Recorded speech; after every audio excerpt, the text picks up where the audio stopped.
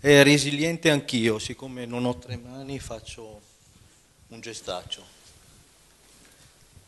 Non vorrei perdermi nulla, per cui mi sono scritto un po' di cose. Allora, per spiegare come si può migliorare l'anima di una città partirò da un racconto, un'esperienza piccola e circoscritta, che può contaminare il nostro territorio. Il co-working nasce per dare in affitto una postazione, una scrivania per chi non ha un ufficio, chi muove spesso, muove spesso e cerca un punto d'appoggio temporaneo.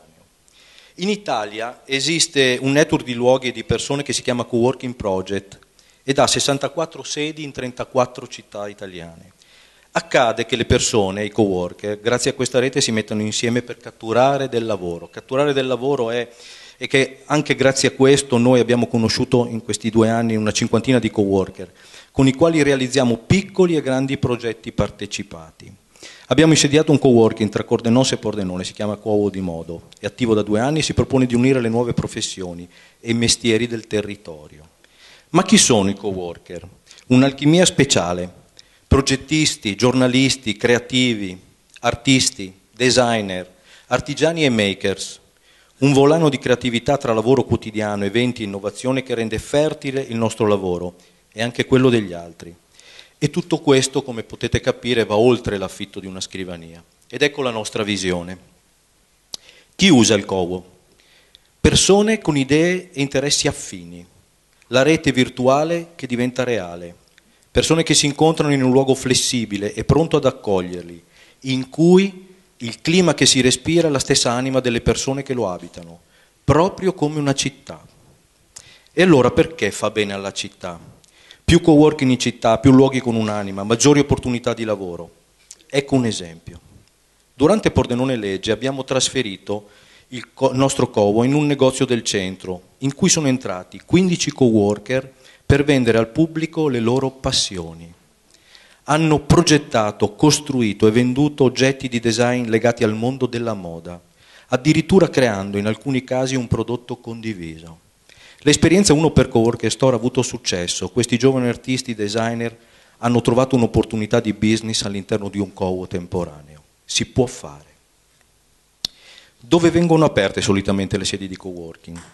Spazi preesistenti, sedi di società, uffici, negozi o aziende, in tutti i luoghi dove il profitto deriva da altre attività, luoghi di lavoro dove è possibile esercitare un'attività saltuaria e spesso nomade Requisiti che non si trovano solo nel, nel, privato, ma sono molto evidenti nel pubblico e questo è il punto di partenza del mio ragionamento.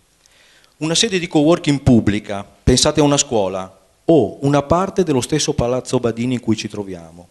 Di fatto un luogo pubblico che offre un ufficio laboratorio temporaneo e gratuito a giovani che vogliono realizzare una loro idea di lavoro semplice e sostenibile. Vi faccio un esempio. Dei neolaureati vogliono occuparsi di inserire nei luoghi pubblici dei rilevatori di presenza e di luminosità per ottenere dei risparmi energetici, un modello di business circoscritto e limitato nella dimensione e nel tempo. Nasce così di fatto una microimpresa e l'ambiente di co-working pubblico potrebbe sostenere interessanti contaminazioni.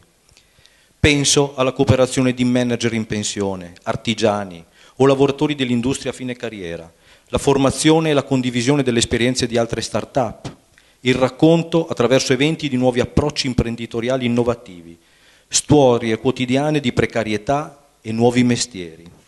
La microimpresa, dal canto suo, per riconoscere all'amministrazione l'affitto della postazione, costituisce un fondo di ore che deposita in una sorta di banca del lavoro, a disposizione per i servizi diretti o indiretti.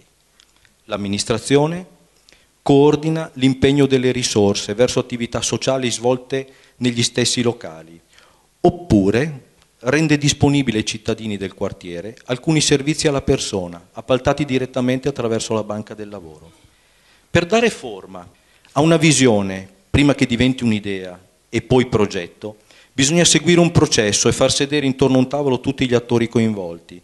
Penso per questo caso l'amministrazione, il polo tecnologico, l'unione degli industriali, artigiani e commercianti che attraverso una progettazione partecipata danno valore, visibilità e sostanza a un co-working pubblico. Esattamente come per il processo, processo smart a cui abbiamo assistito in questi tre mesi.